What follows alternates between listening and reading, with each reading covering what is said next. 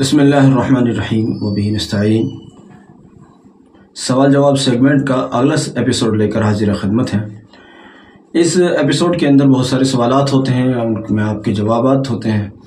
तो इसको सुनने के साथ साथ दूसरों को शेयर किया करें, ताकि कम से कम इल्म को दूसरों तक पहुँचाने का सवाब हमें हासिल हो। बहरहाल, इससे पहले कि हम सवालों का सिलसिला शुरू करें, एक बहुत अहम बात अर्ज़ करता हूँ। फैज़ान ज़िक्र दरूद का अगला पार्ट बहुत जल्द इन मंजर आम पर आ रहा है। और उसके अंदर एक ऐसा अजीब व गरीब, ऐसा हाल ही का पेश आने वाला एक वाक़ हम ज़िक्र करेंगे इन जो बहुत बड़े किसी बहुत बड़े आलिम का या बहुत ज़्यादा दरुशीफ पढ़ने वाले आदमी का नहीं है, बल्कि दो छोटे छोटे मासूम से बच्चे जो चार साल छः साल की रेंज में होंगे। इतने छोटे बच्चों ने दरूज शरीफ पढ़ा और मदीना तय्यबा में पढ़ा और फिर उनके साथ जो अजीब व गरीब मोजा नुमा एक वाक़ पेश आया और वो इतना बड़ा वाक़ जिसको आप फरामोश नहीं कर सकते। हैरत अंगेज़। हम इन अपने उस एपिसोड के अंदर आ, उसका ज़िक्र करेंगे इसलिए उसका आपको इंतज़ार करना चाहिए। बहुत जल्द इन वो मंजर आम पर आने वाला है। बहरहाल, हम सेगमेंट को शुरू करते हैं और पहला सवाल हम लेते हैं, कहते हैं कि जी सजा सहू कैसे किया जाता है? देखिए, ये बात पहले बताई गई थी कि जब नमाज़ के अंदर कोई वाजिब छूट जाता है तो सदा सहू किया जाता है, और भी कुछ वजूहत होती हैं। तो अब सवाल ये आया है कि जी, सदा सहू किया कैसे जाता है? तो जो नमाज़ आप पढ़ रहे हैं, जैसे चार सुन्नत पढ़ रहे हैं या चार फ़र्ज़ पढ़ रहे हैं या जो भी जो भी पढ़ रहे हैं, जो आखिरी रकात है, उस आखिरी रकात में बैठकर तशाहुद वगैरह, तहियात वगैरह पूरी पढ़ने के बाद आप एक तरफ़ सलाम फेरते हैं, फिर दो सजे करते हैं। सहू की नीयत से कि भाई सदा सहू कर रहा हूँ। तो फिर उसके बाद वापस बैठकर फिर तहियात और दरुशी वगैरह पढ़ते हैं और नमाज़ को सलाम फेर कर ख़त्म करते हैं। ये सदा सहू करने का बहुत मशहूर तरीक़ा है। हाँ अगला सवाल है, कहते हैं कि सुना है कि आप एक लाख मरतबा दरुशीफ पढ़ते हैं। जानना चाहते हैं कि कैसे मुमकिन हुआ?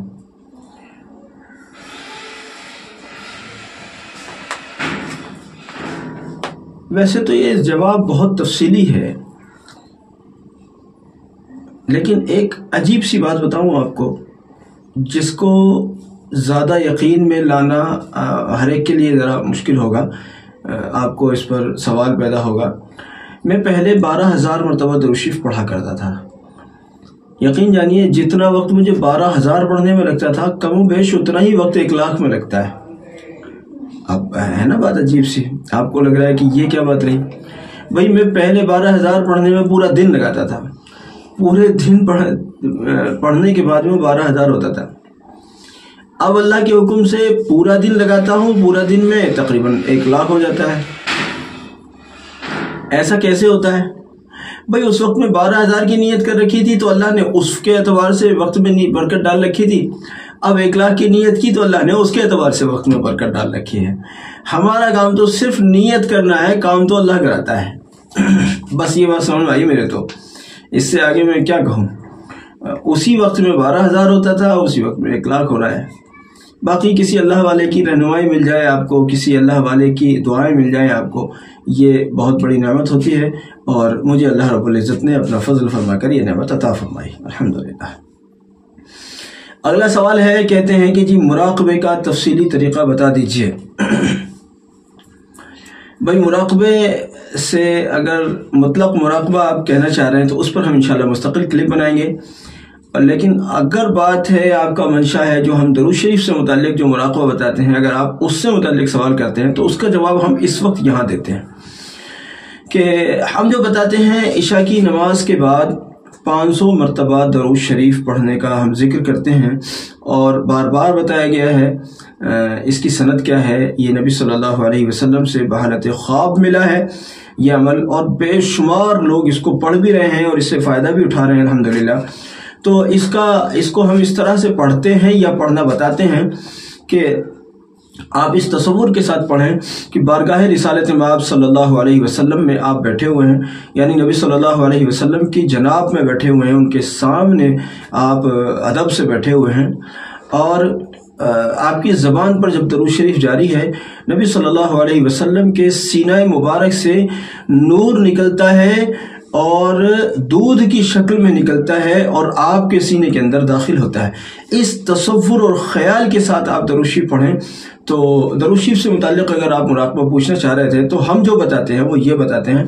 लेकिन अगर मुतल आपको, आप मुराकबा, मुराकबे से मुतल आपका सवाल है तो हम इंशाल्लाह मुस्तकिल इस पर क्लिप बनाएँगे, उसमें देखिएगा। अगला सवाल है, कहते हैं, आप इस जमजम को खड़े होकर पीना चाहिए या बैठकर? भाई, दोनों तरह से पीना जायज़ है। खड़े होकर पीना नबी सल्लल्लाहु अलैहि वसल्लम से साबित है। लेकिन मुहदस बाद मुहदसिन ने उस पर यह कहा है कि भाई, वो तो एक मसलहत की बुनियाद पर खड़े होकर पीना था। तो कुल मिलाकर जमजम अगर आप खड़े होकर पी लेते हैं तो जायज़ है, लेकिन बैठ कर पीना भी दुरुस्त है। कोई ये ज़रूरी नहीं है कि आप जमजम को खड़े होकर ही पिएँगे ये जो असल में हम हिंदुस्तानी मुसलमान अल्लाह के फजल से रस्म रवाज रवाज के बड़े बड़े पाबंद हैं। रस्म रवाज नहीं छूटने चाहिए, देखा देखी नहीं छूटनी चाहिए, उसका लॉजिक कुछ हो या ना हो? उसकी वजह कुछ हो या ना हो? बस ये देखा चला आ रहा है, हमारे यहाँ देखते हैं, देखते आ रहे हैं, हम के भी जमजम को खड़े होकर पीते हैं तो बस बंदा जमजम को खड़े होकर पीने लग गया। वजह क्या है, कुछ पता नहीं। कुछ पता नहीं। अगर हमारे यहाँ किसी, कोई आदमी दो चार बार किसी आलिम से मसला पूछ ले तो वो समझता है मैं बहुत पूछने वाला हूँ और बड़ा इलम वाला हूँ। जबकि हम पड़ोस के लोगों को देखते हैं, वहाँ अगर कोई आदमी नया भी हिदायत की राह पर आया है, नया भी अगर उसकी ज़िंदगी में तब्दील हो, तब्दीली आई है तो वो सिर्फ़ पूछने को काफ़ी नहीं समझता, वो बल्कि वो सीधा किताबों की तरफ़ रुख करता है। हमारे किताबों का तो तस्वुर भी नहीं है। किताबों का तो हमारे यहाँ किताबें पढ़ने का तस्वुर भी नहीं है। अगर कोई बहुत बड़ा तीर मारता है कि बहुत किताबची बनता है, बहुत तो फ़दाइल अमार और मंतखब पढ़ के उसकी कहानी ख़त्म हो जाती है। ज़िंदगी गुजर गई फ़दाइल अमार और मंतखब से बाहर नहीं निकला। ऐसा लगता है कि जैसे और कोई किताब दुनिया में है ही नहीं। यहाँ तक कि कुरान भी नहीं पढ़ते कितने सारे लोग। और तर्जमे की तो बात ही मत कीजिए। बाजे, पता नहीं किस तरह के मौलवी अल्लाह जाने। बाजे तो मौलवी भी कहते हैं, कुरान पढ़ोगे, गुमराह हो जाओगे। पता नहीं इन्हें मौलवी किसने बनाया, मेरी तो आज तक ये बात ही समझ में नहीं आई। कुरान पढ़ने से गुमराह होता है इंसान। अगर यूरोप के लोग कुरान पढ़ते हैं तो हिदायत पर आ जाते हैं। अंग्रेज़ी जबान में वो कुरान का तर्जमा पढ़ते हैं तो माशाल्लाह उनको कुरान समझ में आ जाता है। लेकिन मुसलमान अगर कुरान पढ़ता है तो नाउज बिल्ला गुमराह हो जाता है। ये कौन सी बात है भाई? हमारी तो समझ में आई नहीं आज तक। अल्लाह समझाए बस। इसलिए जमजम तो जहाँ बैठकर पीना और खड़े होकर पीना दोनों सूरतों में जायज़ है, वहीं ये बात ज़िमनी तौर पर मैंने अर्ज़ की कि भाई, अगर आप खड़े होकर पीने के भी पाबंद हैं तो आपको मालूम तो होना चाहिए हम खड़े होकर क्यों पी रहे हैं। बस ये कोई जवाब नहीं है कि जी खड़े होकर ही पीना चाहिए। ये कोई जवाब है? ये कोई जवाब है? आखिर इसका कोई लॉजिक भी तो हमारे लिए में होना चाहिए ना। इम्तिहान में, अगला सवाल है, इम्तिहान में कामयाब होने के लिए कोई आसान वजीफ़ा बता दीजिए। भाई, देखो, मैं तो दरुशीफ का तालब इलम हूँ। आपको हज़ार मसलों का एक ही हल बताता हूँ, और वो हल है दरुशरीफ की कसरत कीजिए।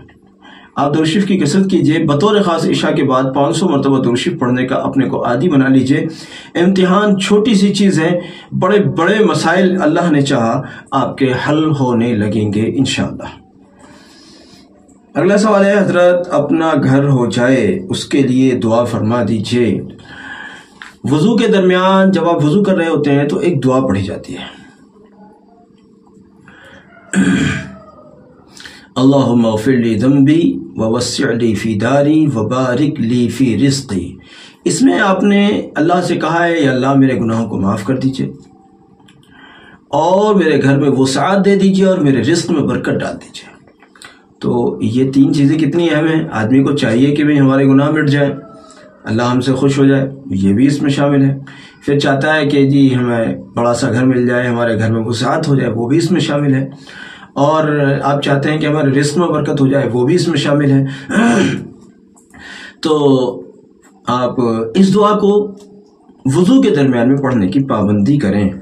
अल्लाह दम्बी वसी फ़ी दारी व बारिक ली फ़ी रिस्की इस दुआ का अहतमाम करें।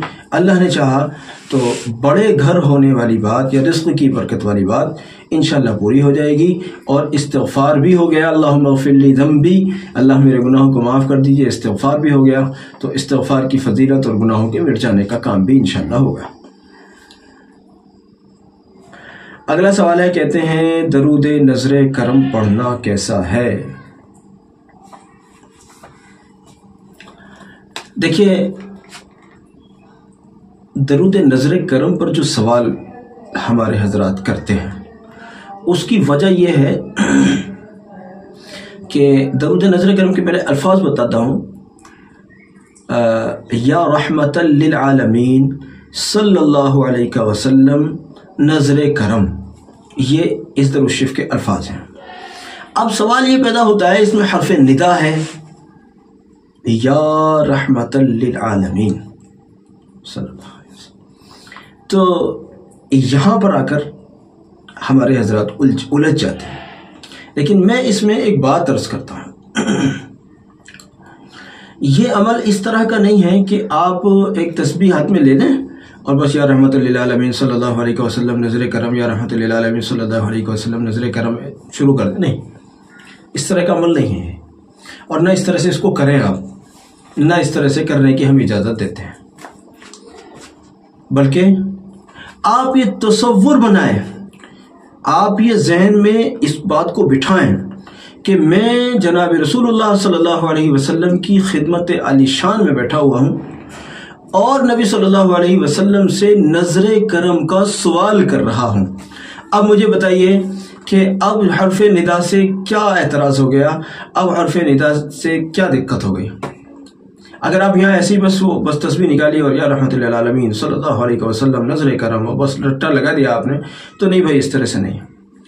लेकिन जब ये ख्याल हो कि मैं नबी सल्लल्लाहु अलैहि वसल्लम के हुजूर में बैठा हुआ और नबी सल्लल्लाहु अलैहि वसल्लम बिल्कुल मेरे, यानी मैं उनके चूँकि हुजूर में बैठा हुआ हूँ, आमने सामने हम लोग बैठे हुए हैं तो बिल्कुल मेरे सामने बैठकर मैं नबी अलैहिस्सलाम से अपनी फरियाद पहुँचा रहा हूँ। तो अब या रहमतमीन सल्लल्लाहु अलैहि वसल्लम नज़र करम, अब कोई एतराज़ है, ना इश्काल है, ना कोई मसला है। इस तरह से पढ़ना है तो पढ़िए। और अगर पढ़ेंगे तो यकीन दिलाता हूँ, अपना तजर्बा भी बयान करता हूँ कि इतना बड़ा नफ़ा पाएँगे इन कि हैरत अंगेज। मैंने मदीना तयबा में रोज़ा अकदस पे पढ़ता था मैं। अलावा भी पढ़ता था, लेकिन मैं रोज़ा अकदस पर इसको पढ़ता था। या रहमत आलमीन सल्लल्लाहु अलैहि नज़र करम। आप यकीन जाने कि बस ये सफ़र तो अताओं के अतबार से बड़ा यादगार सफ़र रहा। इतना कुछ मिला अल्लाह के फजल से। खैर बहरहाल, अगला सवाल है जो आखिरी है। कहते हैं, हज़रत, वहम और अंदेशों की बीमारी का क्या इलाज है? एक बहुत आसान सा इलाज ना बताऊँ। रात को जो दरूद जुमा पाँच सौ मरतबा आप पढ़ते हैं उसका दम किया हुआ पानी पी लिया करें। बस यही इलाज है। इस इलाज को करने के बाद अल्लाह ने चाह कोई और इलाज तलाश करने की ज़रूरत ही नहीं पड़ेगी। इलाज और भी हैं, मैं नहीं कह रहा हूँ और नहीं है। बेशुमार इलाज हैं, लेकिन एक बड़ा मज़े का इलाज। आप दरुशी पढ़ भी रहे हैं। ईशा की नमाज़ के बाद 500 सौ मरतबा आप दरुशी पढ़ भी रहे हैं। तो उससे इस तरह से भी फ़ायदा उठा सकते हैं कि उसका दम किया हुआ पानी आप पिए, आपके जिस्म में चाहे जो भी मर्ज हो, आपके जिस्म में चाहे जो भी मर्ज हो, आप उसके लिए इस अमल को करें। अगर पीना मुमकिन नहीं है तो दम कर लें। अपने अपने हाथ पर दम करके, अपने सर पर फेर लें, अपने कल्ब पर फेर लें। और ऐसे ही दम कर लें। ये भी ये भी हो सकता है। लेकिन ज़्यादा तरजीह में, इस सिलसिले में आपको तरजीह मशवरा देता हूँ कि आप दम किया हुआ पानी पिए। और अगर मरीज़ कोई और है तो उसके ऊपर भी दम भी कर सकते हैं और उसको दमशुदा पानी भी पिला सकते हैं। पहले दिन नहीं होगा तो दूसरे दिन फ़ायदा हो जाएगा। दूसरे दिन नहीं होगा, तीसरे, बहरहाल दो तीन दिन में इनशाला बस बड़े से बड़ा फ़ायदा पाएँगे। हम तो पहले दिन की बात करते हैं असल तो।